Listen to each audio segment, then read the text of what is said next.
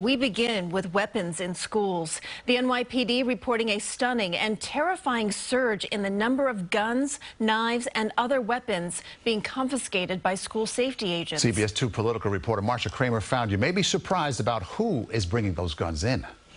It was a little over three weeks ago that Mayor Adams shut his eyes and took a deep breath after looking at a picture I handed him of weapons and other gear in a backpack brought to Manhattan's Intermediate School 70 by a 14-year-old. These are real weapons that could be used on teachers staff, administrators, and most importantly, our children. Well, Mr. Mayor, it's even worse than you thought because apparently New York City students are involved in an arms race. The number of weapons confiscated so far this year has surged a startling 80 percent.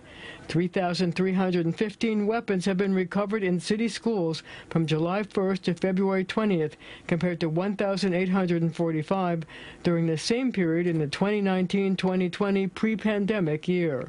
The picture looks even worse when you look at the types of weapons students are bringing to class. Only one gun was recovered pre-pandemic. 14 guns have been recovered so far this year. Tasers increased from 47 to 325, a 561% jump. Knives increased from 1,134 to 1,420, up 25%. The good kids are bringing weapons to school to protect themselves from the gang members. The gang members are bringing the weapons to school because there's no penalty. Gregory Floyd, the head of the school safety union, says the legislature has to reform its so-called raise the age legislation so that students under the age of 18 bringing weapons into school face criminal penalties. That's why we have an 80% increase. Before you had laws in place, children knew they couldn't bring guns to school, so therefore they didn't bring guns to school because they knew they would be arrested.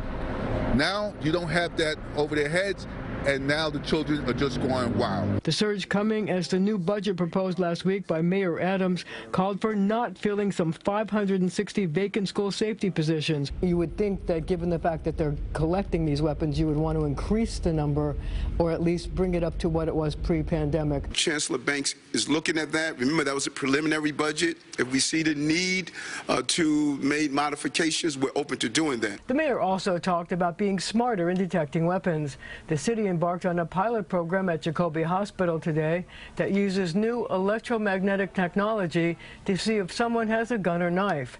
The mayor says if it works, it could be installed in schools. In the newsroom, I'm Marcia Kramer, CBS 2 News.